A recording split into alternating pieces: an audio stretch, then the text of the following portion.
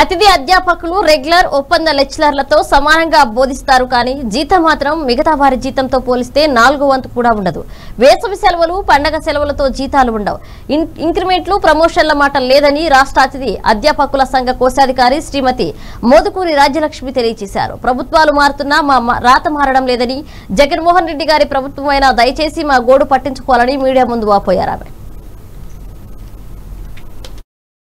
మాలో ఎంతో మంది ఎంఏలు ఎంఫిల్లు పిహెచ్డీలు ఇంకా పెద్ద పెద్ద హై క్వాలిఫికేషన్లు నెట్ స్లెట్లు ఉన్న వాళ్ళే ఉన్నారు. ఉద్యోగ భద్రత లేదు. మొదటిది. రెండోది కాంట్రాక్టు రెగ్యులర్ అధ్యాపకులతో సమానంగా మేము పొద్దున్న పది గంటలకి కాలేజ్కి వెళ్ళి సాయంత్రం ఐదు గంటల వరకు అలాగే బయోమెట్రిక్ కేసు అలాగే చేస్తూ ఉంటాము.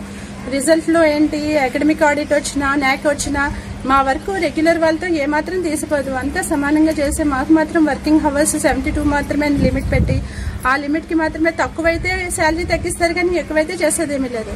నాది political science and single department eighty nine hours ninety కూడా వస్తూ ఉంటాయి. మొత్తం త్రీ ఇయర్స్కి నేనే చెప్పాలి కాబట్టి.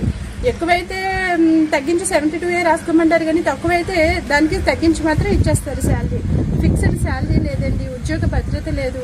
మాకు గవర్నమెంట్ ఉద్యోగస్తులకు వచ్చే బీమా సదుపాయాలు ఆరోగ్యశ్రీలు అలాంటి పెద్దలకి ఇచ్చే ఆరోగ్యశ్రీలు కూడా లేవు. మాకు ఎలాంటివి వర్తించవు.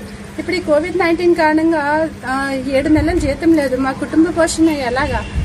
అలాగే ఒక చోట ప్లేస్మెంట్ డిస్టర్బ్ అయితే ఇంకొక చోట ఇచ్చేలాగా కూడా మాకు లేదు. కాంట్రాక్ట్ ఉద్యోగులకు ఒక చోట రెగ్యులర్ ఉపాధ్యాయుడు వస్తే అక్కడ ఇంకొక చోటకి కాంట్రాక్ట్ వాడిని ట్రాన్స్ఫర్ చేస్తారు. కానీ మాకు అలాంటి ఫెసిలిటీ కూడా లేదు. ఎప్పుడు ఊడ పోతుందో తెలియని ఉద్యోగంలో ఎటు అనుక్షణం భయపడుతూ బతకాలి.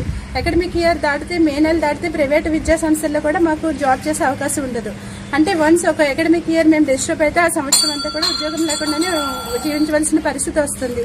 కాబట్టి గౌరవనీయులైన ముఖ్యమంత్రి గారు మీకు ఎన్నో విన్నపాలు చేసుకున్నాము. ఎమ్మెల్యే ఎంతో మంది ఎమ్మెల్యే గారిని ఎంపీ గారిని అందరినీ మంత్రులని ఎంతో మందిని కలిసామండి. మా వినతి పత్రాలు సమర్పించాము.